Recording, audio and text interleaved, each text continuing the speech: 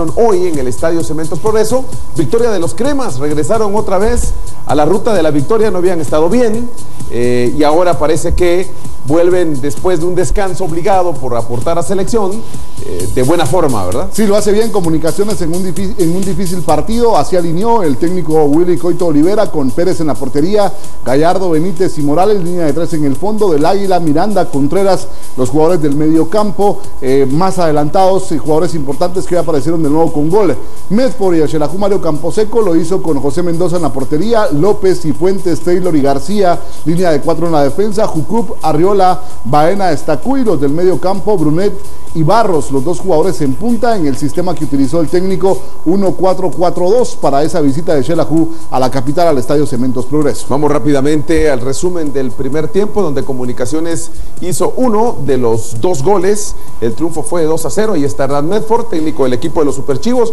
Chela eh, regresará más o menos por estos rumbos porque enfrentará el fin de semana a la antigua GFC en otro de los partidos más interesantes de la jornada del fin de semana, ya después de haber participado muchos de los jugadores de comunicaciones en selección, hoy no estuvieron precisamente en el equipo del profe Willy, tomando en cuenta que tenían muy poco tiempo de recuperación después del último juego ante Antigua y Barbuda. Sí, apenas algunos días. La buena noticia para comunicaciones es que retornó el Moyo, estuvo desde el inicio como titular y al final se hizo presente con una anotación que ya veremos en este partido. Acá lo que sucedía en la primera parte, comunicaciones generaba algunas opciones, también lo hacía el equipo de Xelajú Mario pero qué, manera, esta. pero qué manera de complicarse de parte de la defensa de comunicaciones. Ahí Machaca no puede eh, controlar la pelota y era de despejar y por poco y se da un autogol, pero cómo se partió la defensa en el momento del pase chivo. Esta es la de José Manuel Contreras, levanta centro, bien Mendoza en el fondo en la línea, reacciona de muy buena forma, luego llegaba el team, pero no contaba la jugada, ya no contaba, no es que no contara el gol, sino eh, no contó la jugada, había fuera de juego. Sí, la jugada como tal, producto de un fuera de juego, así lo sancionó el árbitro del partido, y hasta ese momento se mantenía el resultado de 0 a 0, ahí los eh, técnicos atentos a lo que sucedía con sus jugadores dentro de la cancha, muy participativo el Moyo Pedro, lo vi regresar bien y esas son buenas noticias para comunicaciones y la selección nacional. Aquí viene otra vez José Manuel Contreras, un servicio a media altura, sale bien el guardameta Chivo. Esas son las de José, por cierto, el levantar centro, hacerlo a media altura y compromete. Esta es una muy buena anotación de Emiliano, primero porque recibe de espalda la portería, luego hace un medio giro, logró colar la pelota, por eso lo celebra de esa manera. A mí me parece un muy buen gol por lo complicado que era darse ahí un medio giro y rematar a la portería Chivo. Sí, cómo encuentra el espacio, porque le estaban marcando de cerca cuando él eh, genera esta jugada que veremos aquí precisamente. Cuando él hace eso, encuentra el espacio, deja a Cifuentes en el camino, que era quien le estaba marcando, y remata hacia la portería. Nada que hacer para Mendoza, el guardameta de Chelajú. En ese momento se ponía en ventaja el hay, equipo una, hay una leve desviación. Hay un desvío, sí. Pero, pero la concepción de la jugada es muy buena por ese medio giro, insisto. Porque no tenía espacio. Claro. Él no tenía espacio, era lo único que le quedaba. Y un buen recurso de parte de Emiliano López. Luego esto, este comunicaciones. nacional del portero de Shela. Sí, comunicaciones tomaba confianza, generaba las jugadas más claras de gol. El guardameta estuvo muy atento en el fondo. Esto pudo haber terminado incluso con más goles, pero Mendoza fue responsable de que no fuera de esa forma para el equipo de Xelajú. Así terminaba entonces la primera mitad. Ahí está la Chula, que por cierto ya hablaremos con la Chula. Ahí estaba en el gimnasio, que es de comunicaciones, que está en el Estadio Cementos Progreso, viendo el partido, pero haciendo un poquito de ejercicio. Vamos a la etapa de complemento. Shela mostró en algunos eh, momentos del encuentro, en algún pasaje de la segunda mitad, diría yo, dos o tres jugadas interesantes a gol, pero todo fue por parte de comunicaciones. Esta es buena del team, se lleva uno, se lleva dos, remata muy bien colocado el portero de Shela.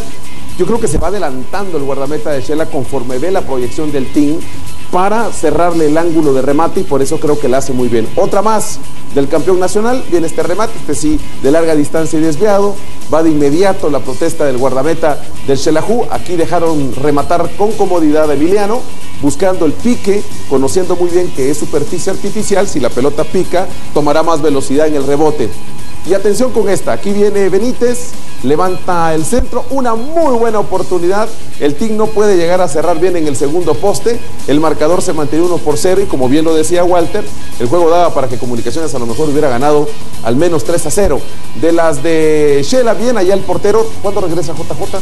JJ se dice podría estar para el clásico. Para el clásico, muy bien. Nuevamente comunicaciones en ofensiva. Aquí le entrega mal el team. Le quedaba el balón para la zurda.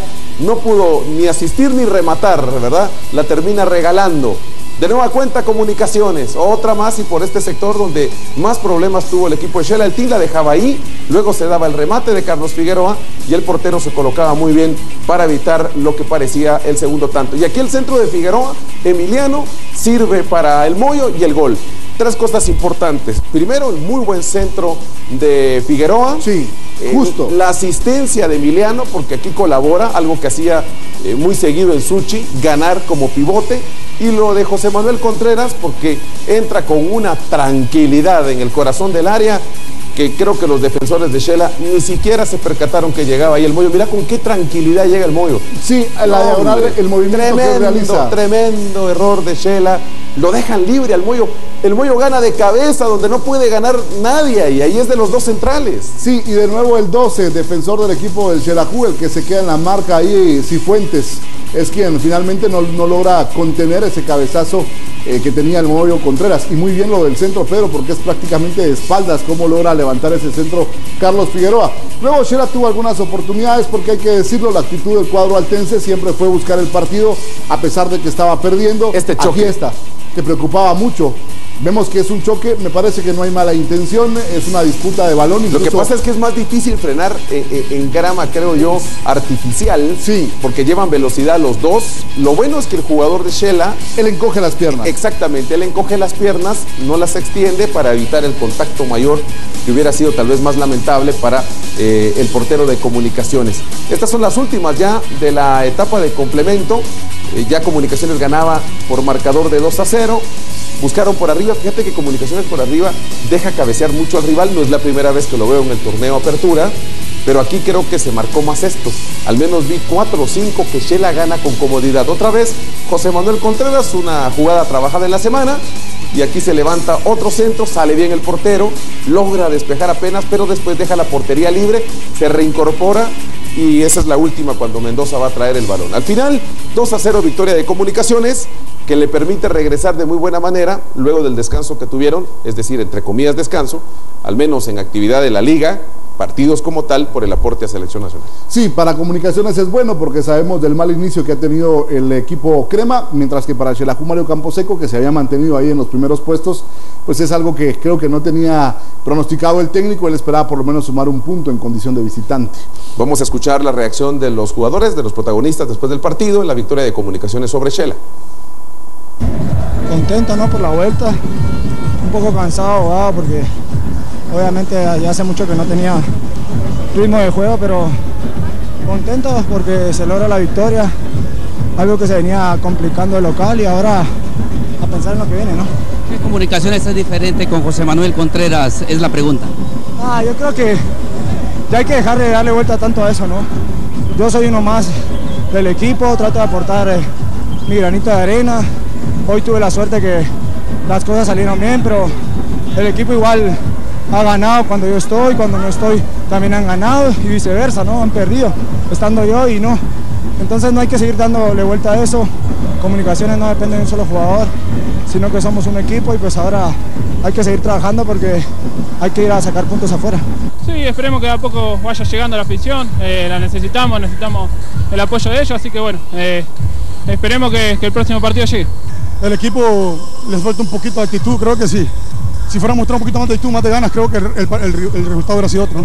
¿Qué pasó ahí en esas jugadas de las anotaciones de desconcentración? Las desconcentraciones, la primera y la segunda ahí me robaron la frente. Puede ser que me falte un poquito más de reacción, pero como tú dices, a uno le llegan, le llegan y a veces uno se desespera también. Uno quiere tapar todo, pero, pero bueno, siempre hay un momento que, que, que se le va, ¿no? Entonces creo que, pero ya pasó, creo que estamos en tercer lugar, vamos a a cambiar el chip porque el domingo viene un rival fuerte en casa, hay que ganar el partido a, como el lugar. Ahí están las palabras entonces de los protagonistas. Eh, Shela, perdón, recibe Antigua, el equipo Panza hace el viaje al occidente del país. Dos partidos difíciles porque, digamos, ya perdieron aquí en la capital ante Comunicaciones y ahora reciben a uno de los equipos que mejor ha hecho su trabajo en este torneo de apertura. Incluso por momentos líder lo compartió con Suchi y demás. Veremos cómo le, le afectó de buena o mala manera Antigua ya para ese juego también el hecho de que aportaron jugadores a selección y que por eso pidieron eh, modificación a su calendario. Y es un duelo directo porque al final, después de lo que sucedió en esta jornada, el equipo de Shela se queda tercero con 13 puntos, Antigua es cuarto con 12, pero el equipo antigüeño solo tiene 5 partidos, así que duelo directo para mantenerse ahí en los primeros puestos y lo de comunicaciones es octavo y Municipal con la derrota de ya ayer. va saliendo. Sí, Municipal con la derrota de ayer es noveno, así que finalmente comunicaciones por primera vez en lo que va del torneo supera a Municipal octavo y noveno, ¿quién iba a decir así? es equipos de probable la capital. que Comunicaciones el fin de semana por primera vez esté dentro de los seis primeros lugares en este torneo de apertura, dependiendo de lo que haga el fin de semana en la jornada 8. Sí, porque quinto está el equipo de Cobán Imperial que es eh, que tiene 10 puntos, el equipo de comunicaciones se quedó con 7, luego está Es sexto, probable. sí, sexto Guastatoya que tiene 8 y Malacateco séptimo que tiene 8, así que hay probabilidad de que Dependiendo ahí, con una victoria y alguna combinación de resultados pueda meterse Y que mejore, y que mejore el, el goleo. Sí, eso es importante. Si mejora el goleo, es muy probable que pueda estar dentro de los seis. Comunicaciones tiene-